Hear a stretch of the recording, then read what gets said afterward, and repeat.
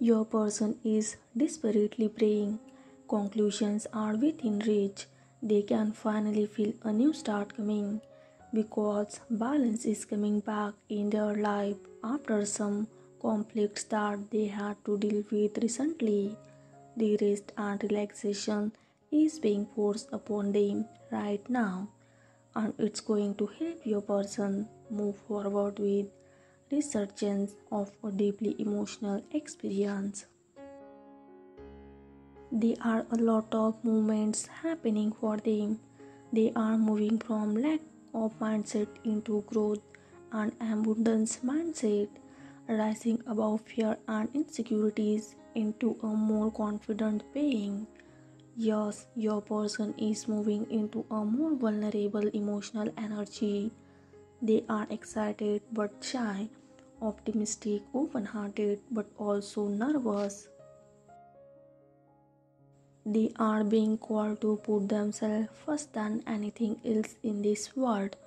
They are constantly growing and wanting to reach out, feeling closer to the feminine more than ever. They are awakening to the divinity of this connection. They are cutting out all the blocks, barriers, and obstacles.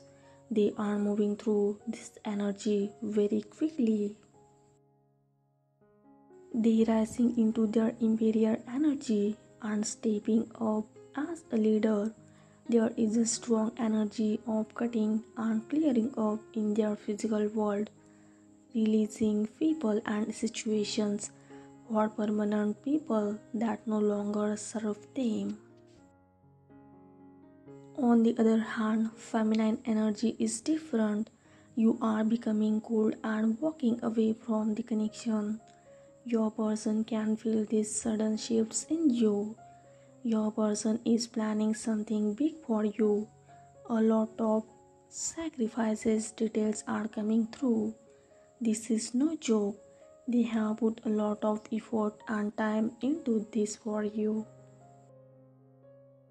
They are preparing to carefully re enter in your life. They are done holding back. There is no way your person is giving up on you. They are determined to have this reunion. Thank you for watching.